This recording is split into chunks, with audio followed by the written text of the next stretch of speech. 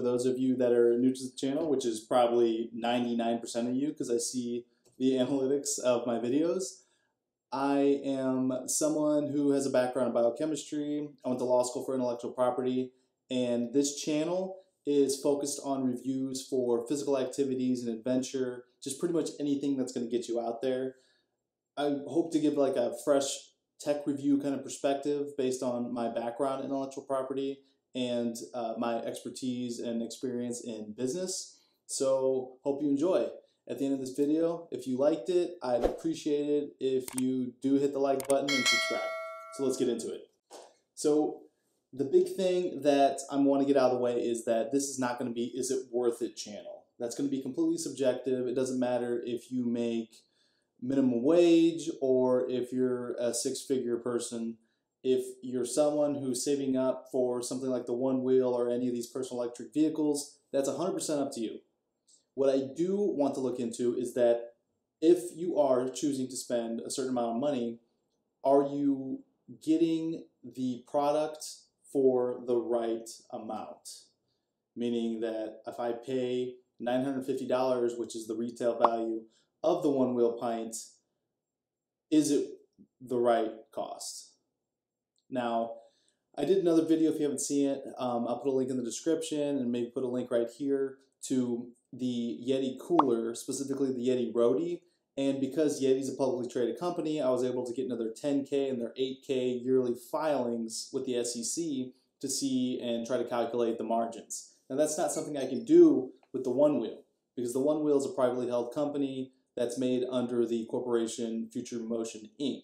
So all I can do is pretty much look at the market, look at the innovative aspects of the Onewheel pint, and determine where they land in the market and if $950 is the right price point for a product like this. So taking a step back just a little bit, Future Motion Inc. started in, I believe, about 2013 by a gentleman named Kyle Doerksen who holds a couple engineering degrees at Stanford University my first introduction to the Onewheel was off a Kickstarter campaign I saw while I was in law school in 2013, 2014. And I remember thinking, God, that looks like a lot of fun. But I was financially not in a place to even think about getting one of these. I mean, here we are six, six plus years later, and I finally got my hands on one uh, about four months ago. So that's just a little background of you know how much I had to wait for something like this. And the Onewheel pint at this price point did not exist. They started off. Kyle Doerksen came up and filed his patent, which is granted in 2014 for this self balancing board. Now, one of the things I see out there when I'm looking at the the comments about the board is a lot of people wish that there was competition for the Onewheel, something that's similar, and there is. In the personal electric vehicle market, you have an abundance of companies out there. Notably, I would say the big competitors for Onewheel would be Boosted Boards and Evolve Skateboards, both of which don't make anything like this, but they make scooters or they make electric skateboards. The first time I saw an electric skateboard was on Casey Neistat's video when he was introduced to the Boosted board. Now, for the market for these electric vehicles, is anywhere from the range of the super cheap, about $100, all the way up to 2000 plus for more premium stuff. And I think somewhere in there, you lose your return on investment. Like you're not exponentially getting a better product for the price. And before the Pint came out, Future Motion came out with the Onewheel XR that's priced at retail, I believe, around $1,800. When I saw that, at the time I could afford it, it wasn't something that I was interested in because for my purposes, I live here in South Beach and there's everything within a mile radius that you can possibly imagine from me. So I was looking for something that would supplement my bike, which I already have, and not have to take my vehicle. If I, if I go somewhere to the grocery store and have a lot of things to get, I'm still going to use my bike with the bags on the back and my rack. If it's something quick, if I just got to run to Walgreens or CVS, I just hop on my Onewheel but I've also come to enjoy joyriding on it. So, spending $1,800 for something that was going to be for joyrides and just quick stops and for what I needed for just didn't make a lot of sense. And at that price point, it may not make a lot of sense for a lot of people. because if you're talking about $1,800, you're talking on the upper, upper echelon of these personal electric vehicles. Whereas this $950 product lands smack dab right in the middle from everything I've seen. It's comparable to about the $750 price point to the very popular Boosted Mini, but it differs in the fact of what it is. So if you break down the subcomponents of it, you've got a you've got the battery, you've got this brushless motor, and you've got lights, you've got all this machine, machinery. And I'd like to even go back to the fact that on the box, when you get it, and even on the website, it says that it's designed and assembled in the USA. A lot of people are using this, and I believe it's a marketing technique as far as the design. Apple's one, they're saying designed in Cupertino, California. Okay, we know that you're making your products over at Foxconn in China under maybe not so ideal conditions. However, assembled is about as close as you're going to get to something that's fully manufactured and made in the United States. Assembled means that they're actually putting the product and facility here. It's taking the subcomponents and putting them together to deliver the final product, which is a very good thing.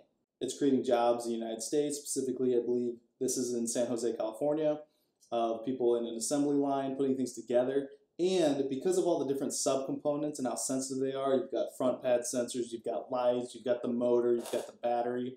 They're able to individually test all the components as they put them together to ensure that you're getting a fully workable and high quality products. There's even a video on Adam Savage's channel, uh, the guy from Mythbusters uh, tested, that he gets to go to the facility and assemble his own Onewheel XR. So there you can see Kyle Doerksen walking through the process and seeing how they test everything, put it together, and it gives you confidence in the product. So when you're taking this all into consideration, you're looking at the market for these personal electric vehicles. The patent, I think, is number one. Kyle Doerksen fully, fully has earned the right to take full advantage of having this product and being the sole person who can sell it under future motion. It was, again, the patent was filed in 2014, so he has 20 years, but and also here, he has simple stop technology that he's recently patented, which with the XR, the dismounting is maybe something difficult for new people to get a hold of. Whereas this, it's something you can turn off. I personally keep it on because it works great at stoplights.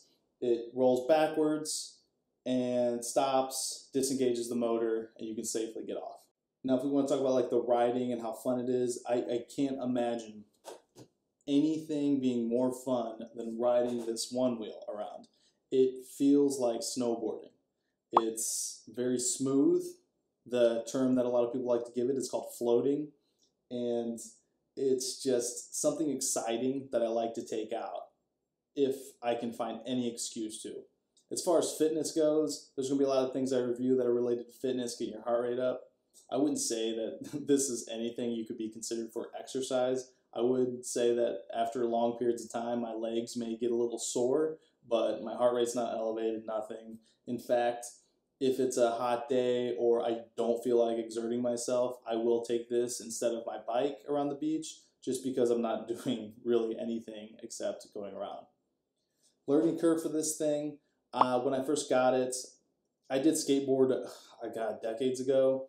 I have snowboarded. I've done that. I wouldn't say I'm an expert at board sports, but for me, I picked it up rather quickly. I'm super comfortable on it now.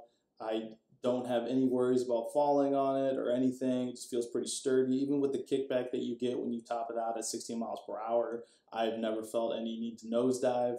There, I'm sure there could possibly be some mechanical failures in the future, but you're going to get that with anything that's electric. It's just the way mechanisms work. Now, I do want to end this with something that I found interesting with my experience with the Onewheel. Here at the beach, the boardwalks and other certain areas are off limits to personal electric vehicles. If it's got a motor in it and it's helping you propel, it's not allowed. However, I didn't know that until I was pulled over by a park ranger and he was very nice about it, explaining it, told me I wasn't being a nuisance. It's just rules are rules. We prefer you to be on the street. And I was like, that's okay.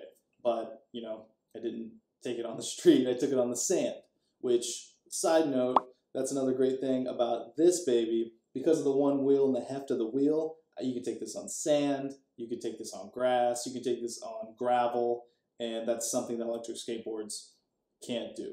What electric skateboards can do is be inconspicuous to park rangers that are on high alert if they can hide the remote in their hand. So I see a lot of evolved and boosted boards around the beach on the boardwalk that go around with absolutely no problem.